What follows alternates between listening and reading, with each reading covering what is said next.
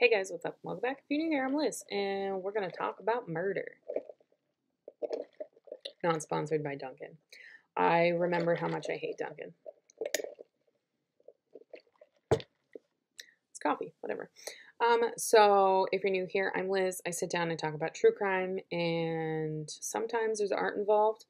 Um, I try to talk about cases that are lesser known. I do talk about some popularized cases, like I have two coming up that are incredibly popular.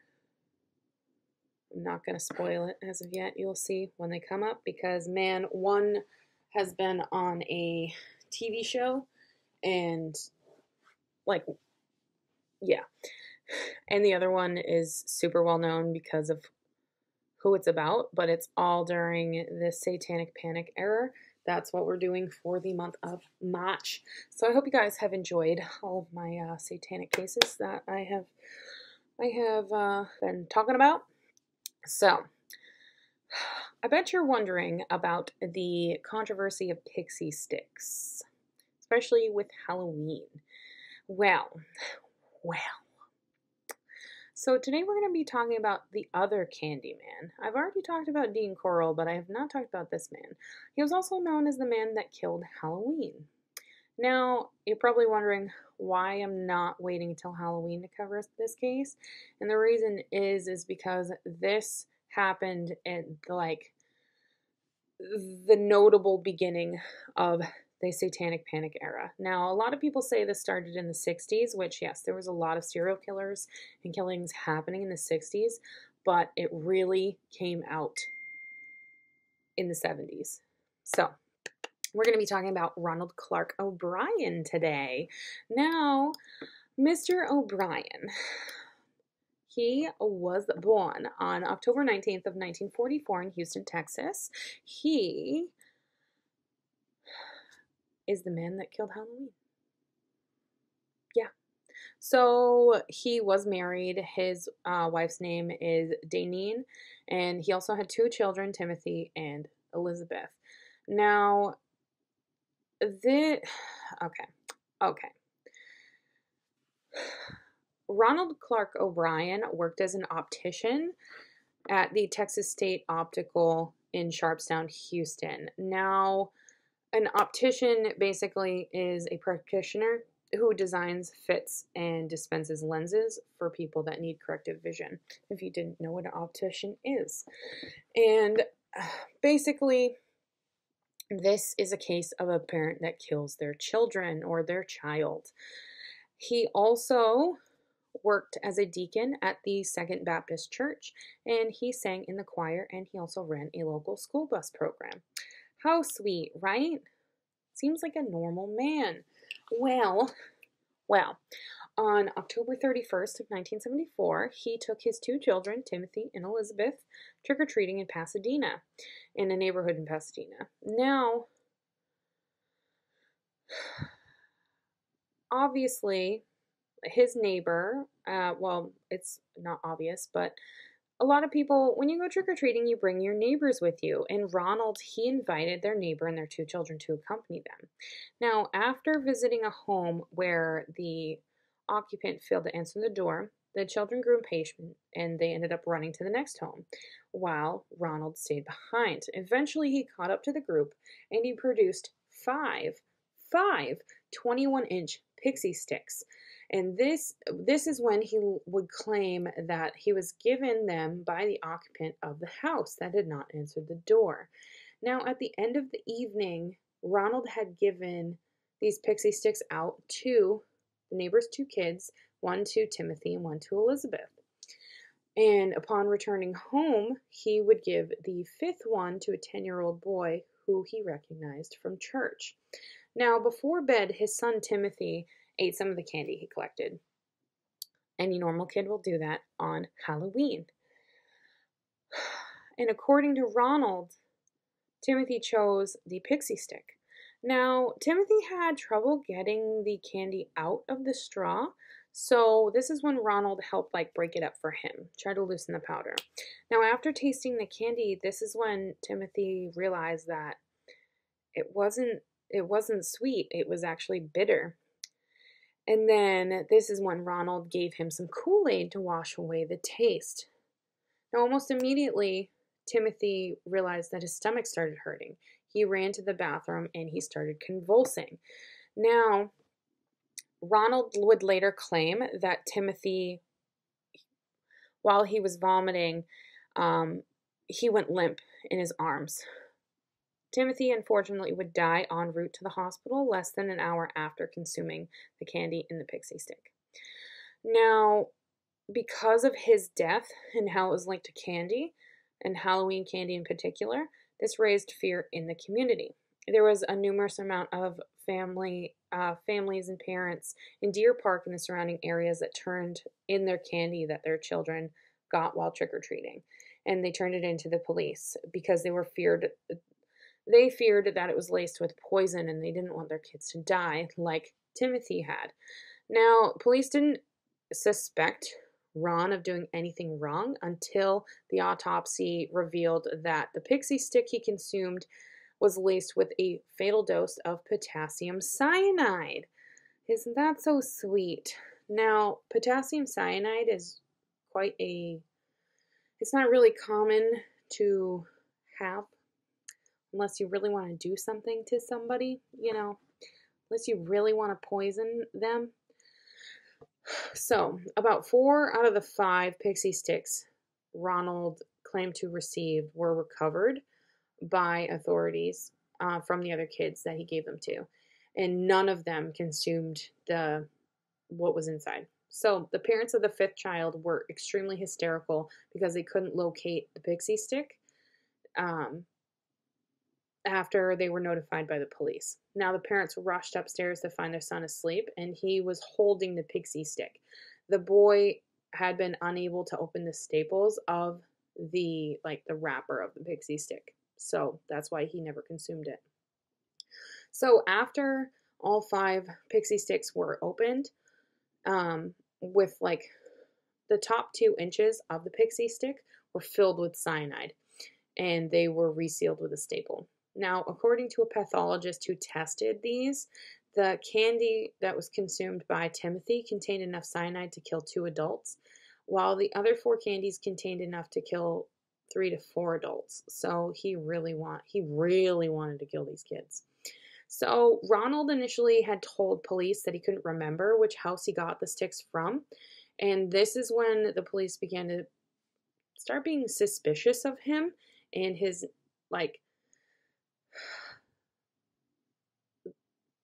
So they became they became suspicious of him, and his neighbor um, had only taken their children to the homes on two streets because it was raining. So a lot of the suspicion that ara- like arose due to this is because none of the homes that they visited had pixie sticks. So where the fuck did he get them? That's what pe- police were like really confused about. So after they walked the neighborhood um, with him three times, this is when he led them to a house where nobody answered the door. Now, Ronald claimed that he went back there before catching up with the group.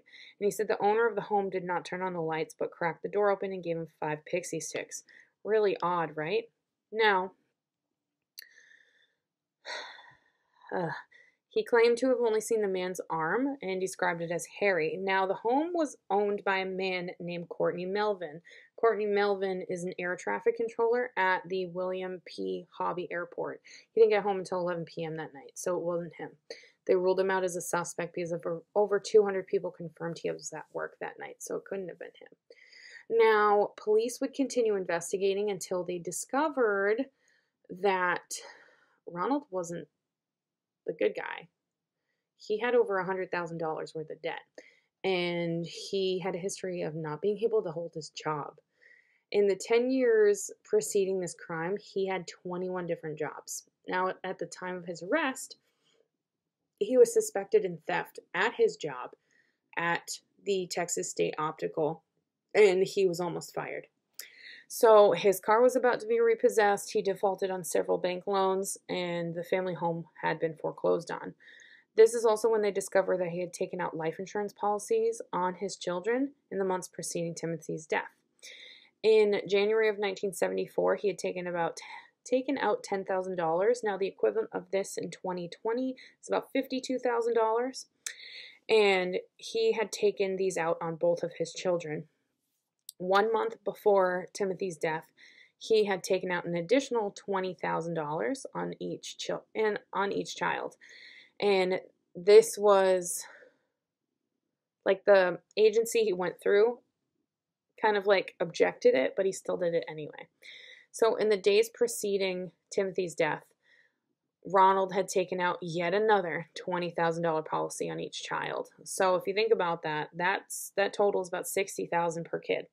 Now, his wife, Daynene, um, said that she didn't know anything about the insurance policies on her kids, and police learned at the morning of Timothy's death as well that Ronald had called the insurance company to inquire about collecting the policies that had taken out on his son after learning that Timothy had, well, and it's a little odd that he would call like right after his son died.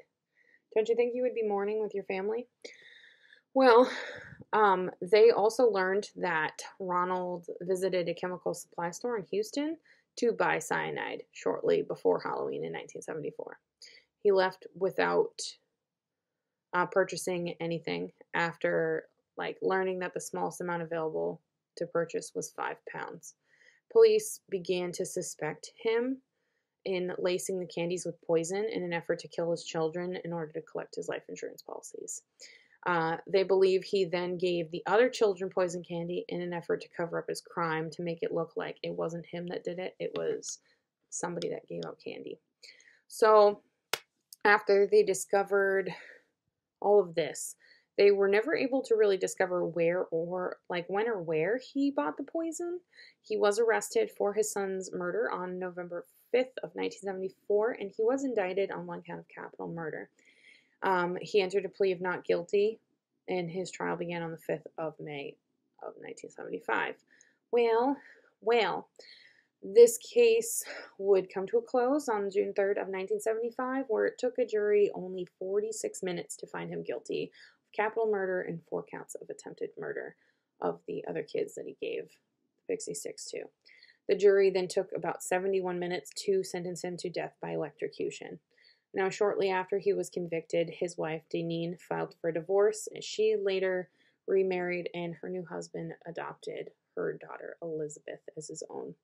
So,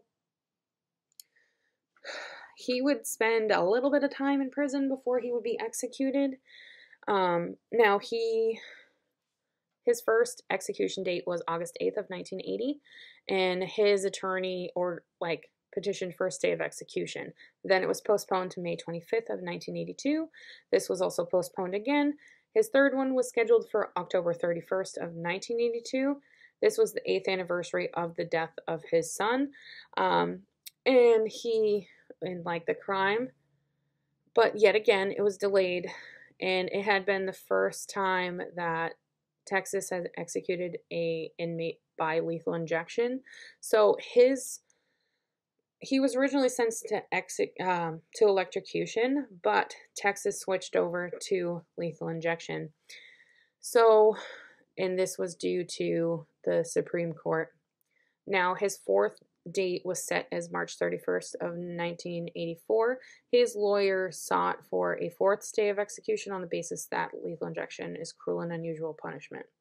Now, the federal judge rejected this request, and on March 31st of 1984, shortly after midnight, he was executed by lethal injection at the Huntsville unit.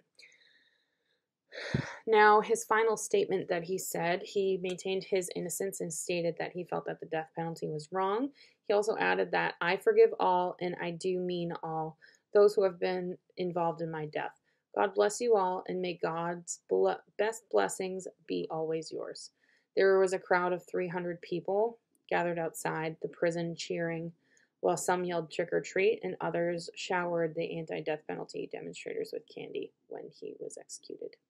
He is buried at Forest Park East Cemetery in Webster, Texas, and his son Timothy is buried elsewhere at Forest Park Lawndale Cemetery in Houston. Now, that, my friends, is the lovely case of the man that killed Halloween. I know it's such a such a fun case, right? It sucks. Why why kill Halloween? Didn't do anything to you. Um, but yeah, I hope you guys enjoyed and I'll see you guys in another video. Bye guys.